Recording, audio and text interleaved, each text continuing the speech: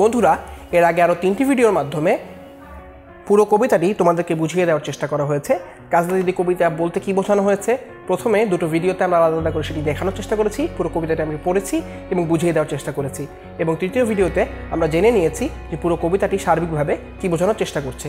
এখন বন্ধুরা, তোমাদের জন্য কিছু প্রশ্ন রয়েছে, যেগুলোর উত্তর তোমরা বলবে এবং লেখার চেষ্টা করবে। এই যে প্রশ্নগুলো দেখতে পাচ্ছ কাজলা দিদি কোথায় গেছে, কখন কাজলা দিদির কথা বেশি মনে পড়ে কাজলা দিদির কথা উঠলে মা আঁচল দিয়ে মুখ ঢাকেন কেন? পুতুলের বিয়ের সময় দিদির কথা কেন মনে পড়ে? আমিও নাই, দিদিও নাই, কেমন মজা হবে? এ কথা বলে কি বোঝানো হয়েছে?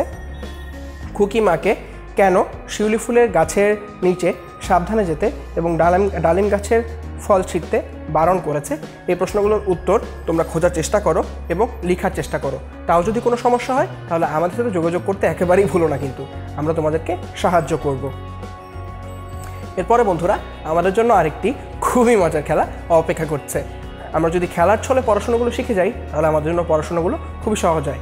নিচে কিছু শব্দ রয়েছে, এই শব্দগুলো আমরা ঠিকভাবে সাজাবো?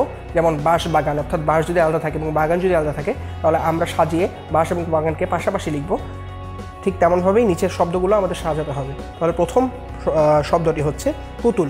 পুতুলের সাথে আর কি যায় এখান থেকে বন্ধুরা একটু খেয়াল করে দেখো। বন্ধুরা, কবিতাতে আমাদের পুতুল, পুতুলের ব্যাপারে বিয়ের কথা বলা হয়েছে। এখন যদি বন্ধুরা পুতুলের সাথে বিয়ে বসানোর চেষ্টা করি, তাহলে কি দেখতে পাচ্ছি? একেবারে সঠিক উত্তর, মিশে গিয়েছে, পুতুল বিয়ে শব্দটি বোঝানো হচ্ছে। এর পরের শব্দটি হচ্ছে থোকায়। থোকার সাথে আর এখানে কি যেতে পারে বন্ধুরা? আর কোন শব্দটি এর সাথে যায়? ঠিক আমরা একটু দেখার চেষ্টা করি। থোকা নিয়ে কথা বলা হয়েছে, নেবু নিয়ে কথা বলা হয়েছে এক্ষেত্রে। সেখানে আমরা দেখেছিলাম থোকায় থোকায়। তো বন্ধুরা, এখানে যদি আবার থোকায় দেই আমরা, তাহলে একেবারে সঠিক উত্তর যেটি আরেকবার বলার মাধ্যমে ঠোকায় থোকায় অর্থাৎ অনেকগুলো থোকা বোঝানো হচ্ছে। এরপরে রয়েছে পুকুর। পুকুরের সাথে এখানে কি যায় বন্ধুরা? পুকুর তলে হচ্ছে না।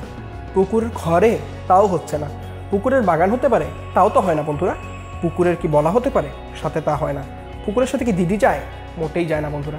তাহলে এখানে যদি আমরা ধারে বসাই, তাহলে দেখতে পাই একেবারে সঠিক উত্তর, পুকুর ধারে একটি শব্দ হয়ে যাচ্ছে। এরপরের শব্দটি হচ্ছে নেবুর। নেবুর সাথে এখানে কি যায় বন্ধু?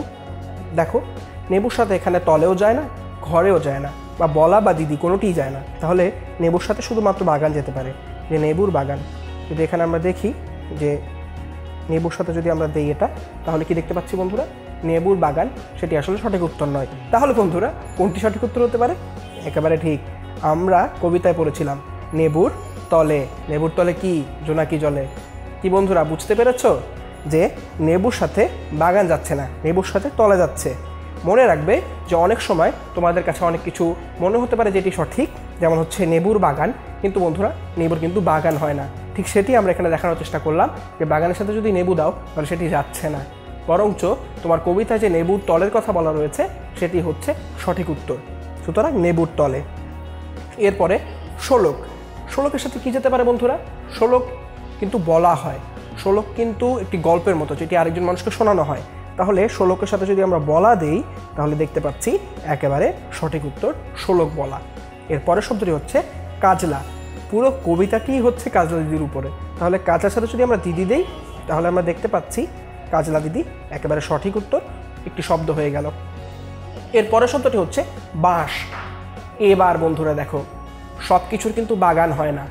সব কিছুর কখনোই বাগান হয় না। কিন্তু বাঁশের কিন্তু বাগান হয়, ফুলের কিন্তু বাগান হয়। তো এখন যদি তুমি বাঁশের সাথে বাগান দাও, তাহলে কি দেখতে পাচ্ছ? একেবারে সঠিক উত্তর, বাঁশ বাগান। এবং সর্বশেষ, নতুন, নতুনের সাথে কি হতে পারে? ঘরে হতে পারে, নতুন ঘর বোঝাতে।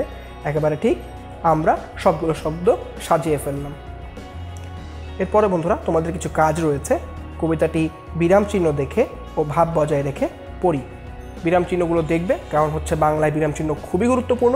বিরাম চিহ্ন ছাড়া তুমি বুঝতে পারবে না যে তোমার কোথায় থামতে হবে, কোথায় জোর দিয়ে কথা বলতে হবে।